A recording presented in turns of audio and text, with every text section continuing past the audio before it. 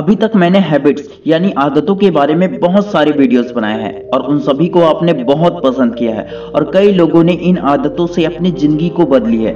मैं चाहता हूँ कि आप अच्छी आदतें अपनाकर अपने लाइफ में आगे बढ़े और अपने साथ दूसरों को भी आगे बढ़ाएँ।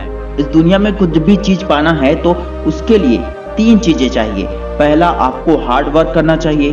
दूसरा, अपने काम पर विश्वास होना चाहिए। और तीसरा महत्वपूर्ण बात यह है कि हमेशा डिसिप्लिन या अच्छी आदतों के साथ चलना चाहिए।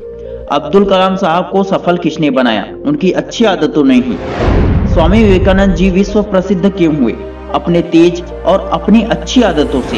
एलॉन मस्क की सफलता के पीछे उनकी आदतें हैं, जिसमें वो हर मिनट को कितने समझदारी से इस्तेमाल करते हैं। मैं आपको सिर्फ़ कुछ एग्ज़ाम्पल दे रहा हूँ। सच बात तो ये है कि किसी भी सफल या असफल इंसान के पीछे एक ही बात होती है, उनकी आदतें। अच्छी आदतें बेहतर ज़िंदगी देती है, लेकिन बुरी आदतें हमें खाई में धकेल देती है, जहाँ से हमें निकलने का कोई रास्ता दिखाई नहीं देता। तो आज हम फिर से एक बार कुछ अलग और कुछ बेहतरीन आदतों के बारे में बात करेंगे। इन आदतों को मात्र 21 दिन खुद पर अप्लाई करना है, उसके बाद ये आपकी आदतें बन जाएँगी। आपको फोर्स नहीं करना पड़ेगा। मैं आपसे वादा करता हूँ कि अगर आप ईमानदारी से इन आदतों को जीवन में अपनाते हैं तो आपकी लाइफ पूरी तरह से चेंज हो जाएगी। Number one learn skills acquire knowledge and develop your अगर आप कहीं पर जॉब इंटरव्यू के लिए जाते हो और वहाँ पर आपको ये पूछा जाए कि आपको क्या काम आता है तो क्या आप ये कहेंगे कि आपने बीएससी किया है एमएससी किया है? बीए एमए किया है या बी कॉम एम कॉम किया है। सिर्फ़ डिग्री दिखाने से छोटी मोटी नौकरी तो मिल ही जाती है। अगर आपको बेस्ट सैलरी वाले जॉब चाहिए, अगर आपको एक अच्छी नौकरी चाहिए तो आपके अंदर कोई स्किल होनी चाहिए, क्योंकि स्किल के बिना कोई भी जॉब में नहीं रखता है। आजकल ज़्यादातर एक्सपीरियंस वाले को ही जॉब में रखते हैं। पढ़ाई के साथ साथ कंप्यूटर में डाटा एंट्री कैसी करनी है? प्रेजेंटेशन कैसे बनाना है? किसी भी चीज़ का लिस्ट कैसे तैयार करना है? वगैरह वगैरह, जो भी काम सीखने लायक होती है, उस काम को सीखते रहना चाहिए, जिससे आपका नॉलेज बढ़ेगा और उस काम में एक्सपीरियंस भी बढ़ेगा।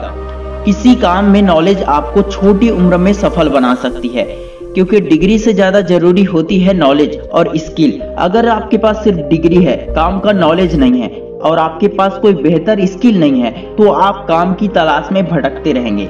हर दिन थोड़ा सा टाइम निकालकर नॉलेज को बढ़ाने में और कुछ काम सीखने में देना चाहिए।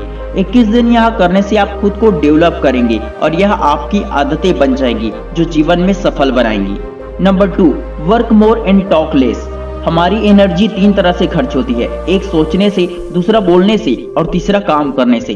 मैक्सिमम लोग अपनी ज़्यादातर एनर्जी बोलने में गमा देते हैं और काम ठीक से नहीं करते हैं या करना ही नहीं चाहते हैं। कई लोग बड़ी लंबी लंबी फेंकते हैं, मगर करते कुछ भी नहीं, और ऐसे लोगों को आप खुद भी पसंद नहीं करते होंगे। अगर आपने सोचा है कि आपको बहुत मेहनत करनी है, बहुत पढ़ाई करनी है और टॉप करना है तो तुरंत अपने लक्ष्य को प्राप्त करने के लिए मेहनत करना स्टार्ट कर देना होगा। आपको बहुत पैसा कमाना है, आपको अमीर आदमी बनना होगा। तो आपको दूसरों को बताने की ज़रूरत नहीं है, दूसरों को बार बार बताने की ज़रूरत नहीं है। आप खुद ये कर सकते हैं। लोग सुनना नहीं, बल्कि देखना पसंद करते हैं। आप दिखा दो लोगों को कि आप क्या कर सकते हो। किसी और के सामने ज़्यादा कुछ बोलने की ज़रूरत नहीं है। आपको अपनी एनर्जी अपने काम या पढ़ाई में देना चाहिए।